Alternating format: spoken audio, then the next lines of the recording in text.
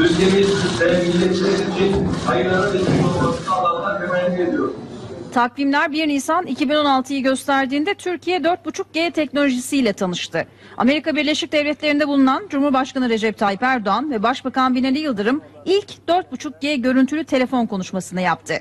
Emeği geçen tüm kamu ve özel sektör kuruluşlarımıza teşekkür ediyorum. 3 ay sonra 15 Temmuz hain darbe girişimi gecesi Cumhurbaşkanı Erdoğan yine 4.5G teknolojisini kullanarak milleti demokrasiye sahip çıkmaya çağırdı. milletimizi illerimizin meydanlarına davet ediyorum. Havalimanlarına davet ediyorum. Şimdi de Türkiye 5G teknolojisine geçmek için gün sayıyor. Aselsan bu yeni nesil mobil haberleşme teknolojisinin altyapısı için çoktan kolları sıvadı.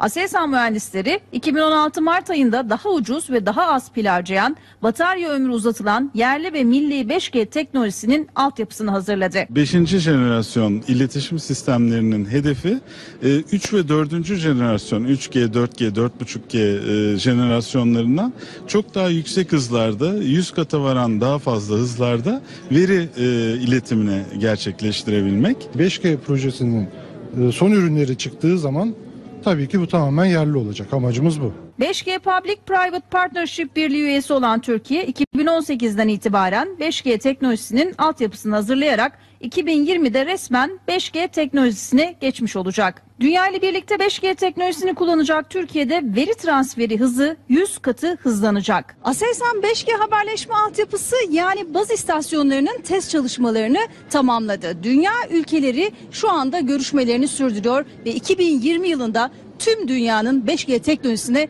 geçmesi bekleniyor.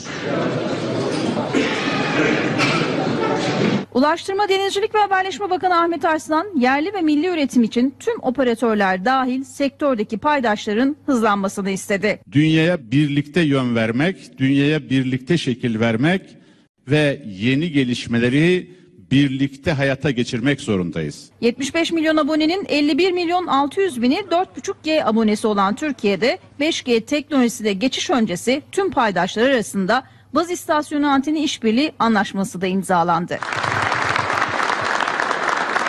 Peki tüketici 5G teknolojisi için ne düşünüyor? Bence daha iyi olur. Eskiden e, sadece e, evde veya işte kullanılan internet daha iyiydi. Telefonlarda çok kötüydü. Bir oyunu indirmekle mesela şey bilgisayarda biz ya 6 saat falan sürüyor şimdi bayağı indi yani 3 saat 2 saatte yani yarı yarıya indi. Kimi cep telefonu kullanıcısı hayatından memnun. büyük bir fark hissetmiyor insan açıkçası hani böyle 4.5G'ye aldığımızda ya da 3G'ye aldığımızda telefonu o kadar fark yok hani evdeki internetle de kıyasla zaten evdeki internetlerde de düşme var tabii ki.